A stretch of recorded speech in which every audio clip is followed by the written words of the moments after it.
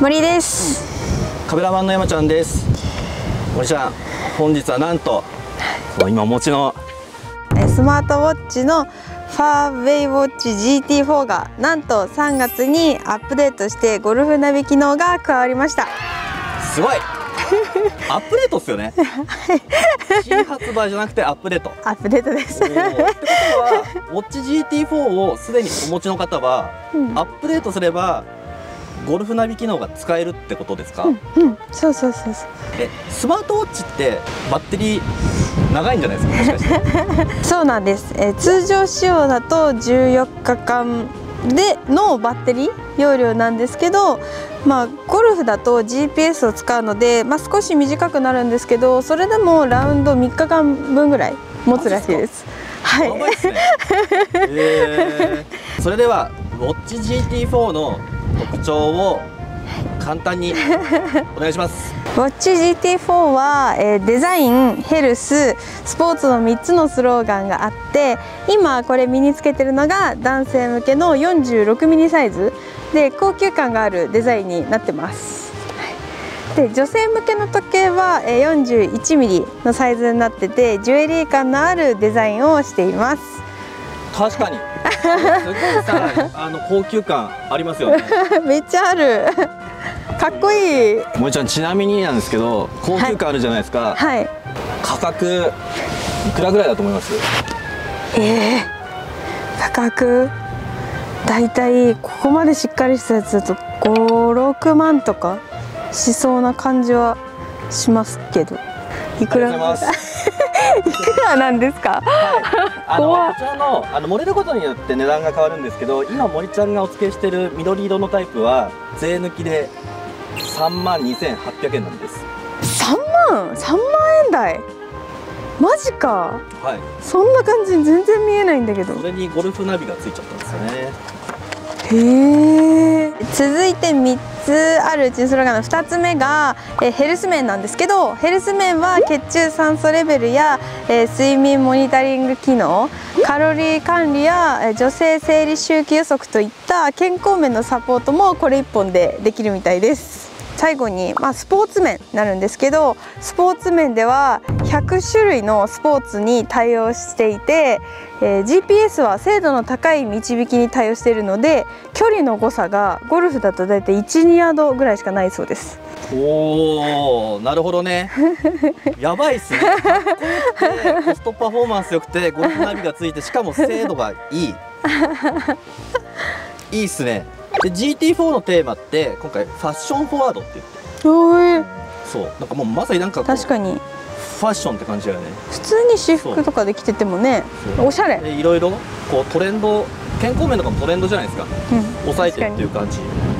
そんなウォッチ GT4 にまあ今回ゴルフナビ機能が追加されたということでまあ今回は森ちゃんがラウンドしながら使いやすさとか、機能について使用レビューしていきたいと思います。よし。それではやっていこう。行ってきます。よいしょ。そういえばこれって設定難しいんですか？設定？あ設定簡単、あのスマホにアプリをダウンロードしてうん。でその GT4 と同期させるだけ。えー、あ簡単なんだ。でアプリは Android と iPhone どっちもあるからどっちも使えるんですか？どっちも使える。えー、あそうなんだ。簡あいいね。どっちも使えるの。てかめっちゃ液晶綺麗な矢が見えるかな？なんか全然光とか反射しないよ。ちょっと明るいところとか行ったらどうなの？結構さ眩しくて反射とかしてさ見づらいとか。めっちゃめっちゃいいめっちゃいい。全然見づらいとかないよ。普通は携帯とかでもこう見てると反射してこう見にくかったりするけどここ全然ない。ほら。ノー反射。しかも超綺麗はっきりして見えるからこうやって近づけたりこうやって角度変えなくてもパッて見てパッてわかるって感じ。超綺麗。あー確かに。あれかなあのサングラスの調光レンズあるじゃないですか。光に応じてちょっとこう調整するみたいな、はいはいはいはいはい。効果がちょっとずつこう馴染んでくるような感じ。ああそうそうそうそうそう。そうそれに近いかも。ああなるほどね。超いい。反射しないんだ。全然しない。こっちからこうやって光思いっきり当てても全然。どの角度から見ても多分全然見える。さすがフファーウェイだねファーウェイはタブレットがそれがあれなんですよ。あの液晶がとにかく見やすい。あそうなんだ。超綺麗。じゃあ打つ前に簡単に機能の説明します。ここの上のボタンを押すとコースが簡単に変えられます。でこれがコースレイアウトが映ってて距離がグリーンセンターまでの距離が出ますでスライ右に行けとかがあるんあそうそうそう。右手前。これあのワングリーンなんであれなんですけどあのツーグリーンあった時もあの AB って出てツーグリーン対応してます。であとセンターの表示で高低差はあのないタイプですね。次。これが3点間の距離かな。後で使ってみよう。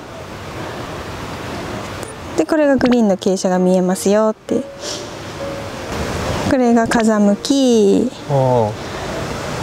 風が見れるんですね。風が見れます。強さも。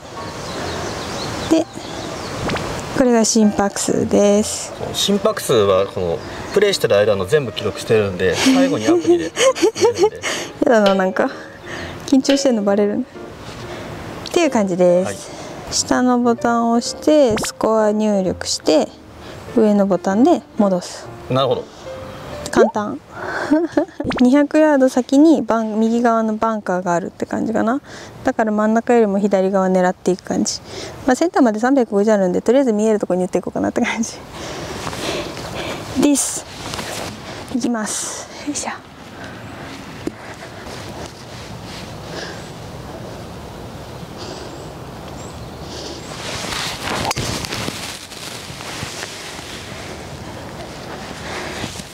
よいしょ。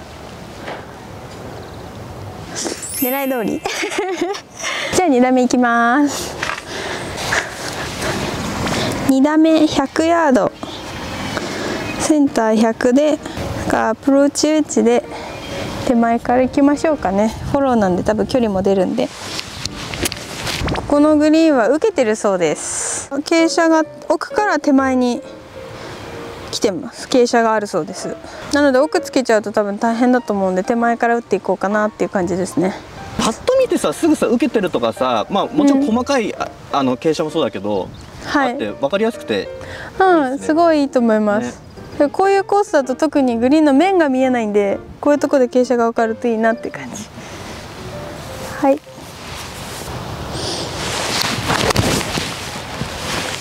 いしょいくかないけいけちょっと短かったかな？はい。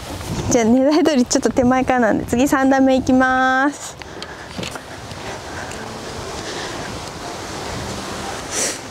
今めっちゃブーって言った。これ。本当だ。ここまで来るとすごい受けてる。受けてますね。結構上り傾斜強くなるんで思い切って突っ込んで打っていけるかなっていう感じ。だから傾斜が見えない人はこれ見て打つといいかもしれないですね。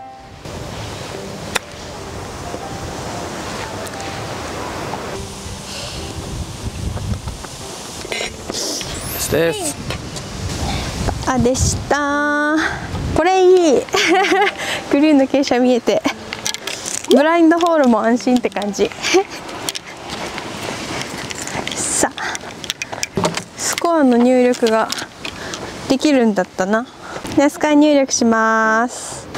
下のボタンを押してで合計スコアが今パーだったんで4回。えー、と寄せ1だからパターが1回だから1これいろいろ変えられるのかな。よいしょ。こういう感じで変えられます。なので今私1回だから1と最後あとこれがペナルティーですね。まあ池入れちゃったり OB 入れちゃったりした人はこれでこうやって変えていくっていう感じ。で今のがないんで0で。で次。でこれが最初のティーショットかな？ティーショットが真ん中右か左か。で思ったよりちょっと左行っちゃったんで私左。で完了。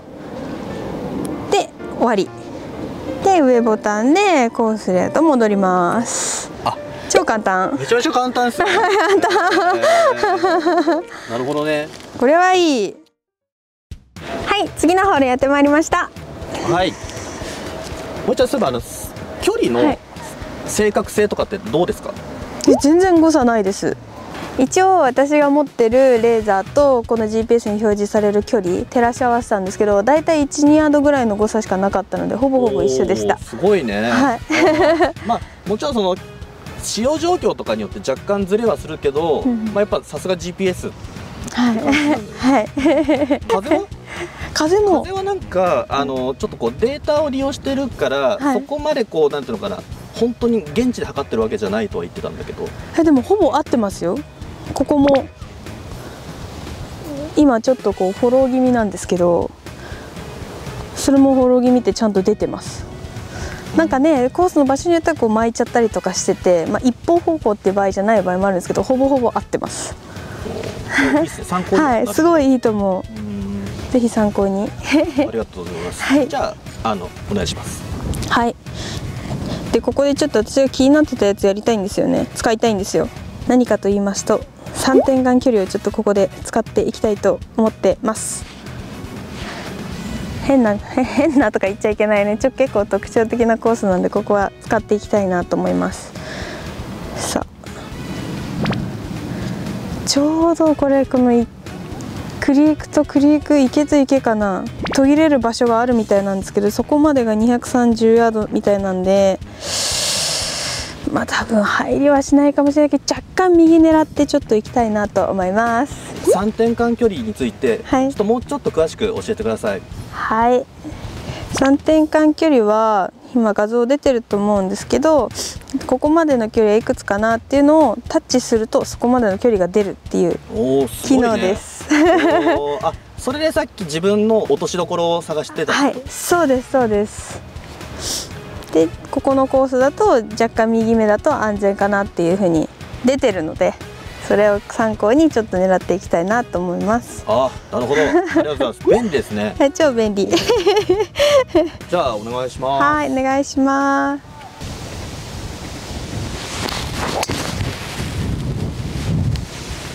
よいしょございます。じゃあ2打目いきます。はい。行こう。すごい。見て。やばいね。恥じゃん本当に。超うまいでしょ。そうなんか打った時えこれいったんじゃねって思ったの、あ思ったでしょ。思った。だそれはねこれで測ってるから。なるほどね。もうそう。だから自信持って打てたの。ドライバーで打っても絶対行かないってそう。そうそうそうそうそうこれ超便利。超正確。距離やばいめねっちゃ使える。あちょうどほらここでもあれじゃないですか。例えばね初心者の人とかってあんまり距離出ないと思うからこれグリーンの方向を狙っていくとちょっと池気になるじゃないですか。うんまあ、そもそもなんかこう飛ばそうと思ってウッドとかユーティリティ持つとなんか行っちゃい超えないですよね。ね。って時にちょっと刻もうと思ったら多分そこのバンカーの先ぐらいとかが一番安全なのかなと思うんですけどその時にこいつなんですよ。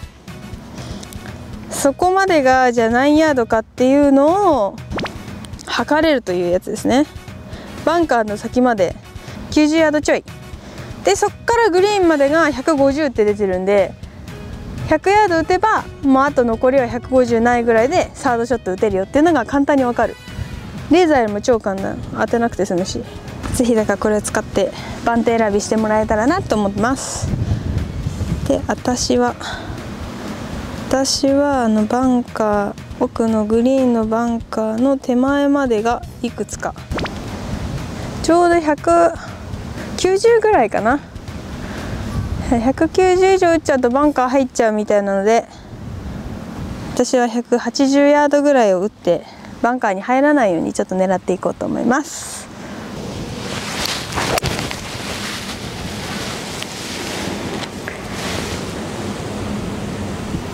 ナイスです。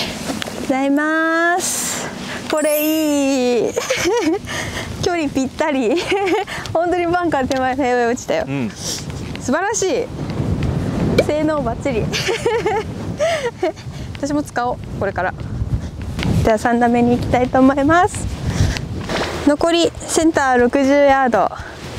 まあフォローも入るんで。ただ打ち上げがあるからこの表示通りに打とうかな。60します。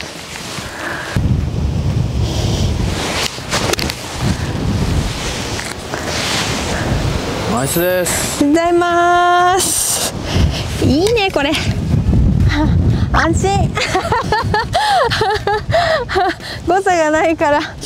安心してその距離打てる。ベタピンかもよ。見て。いいね。登って下ってだね。バーディーパット。バーディーパットよしうわ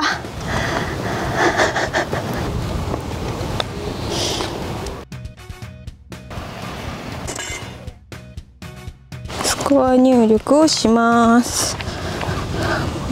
の3パット。ペナルティなし。命中。OK よし。じゃああとはちょっと私の感想と場所を変えて皆さんにお伝えしたいと思いますので移動しましょう。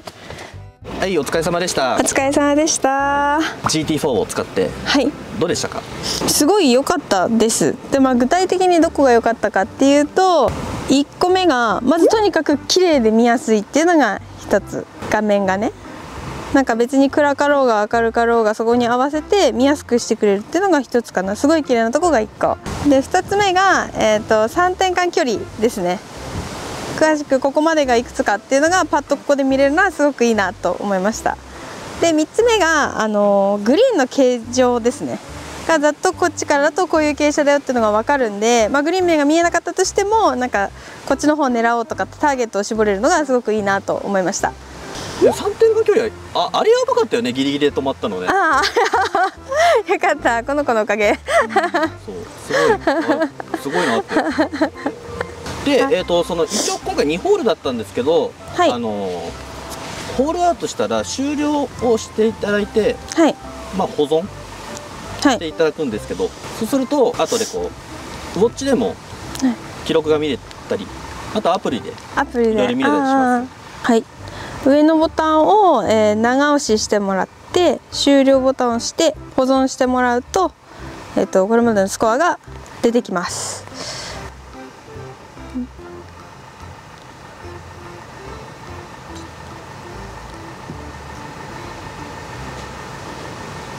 これ心拍数だ。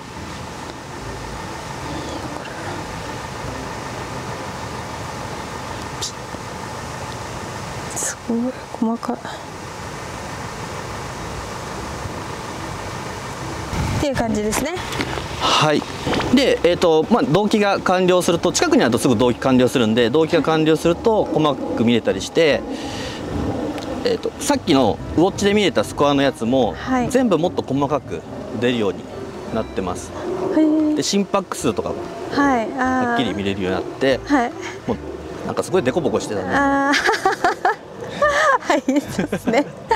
あんま見たくないから。バレるな。最後のパターちょっと調子悪かったところは 多分乱れてると思う。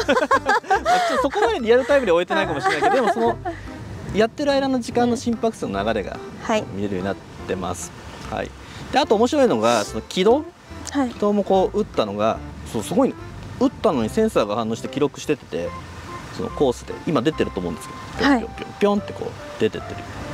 振り返りもいいですね。はい。感じですね。はい。はい。はい、ということで、えー、ファーウェイウォッチ GT4 は、えー、ネットでも販売していますがお近くの家電量販店でも、えー、扱っていると思いますので、えー、気になった方はぜひ直接見ていただいたりして、えー、ご購入ご検討いただけたら嬉しいです。ありがとうございました。ありがとうございました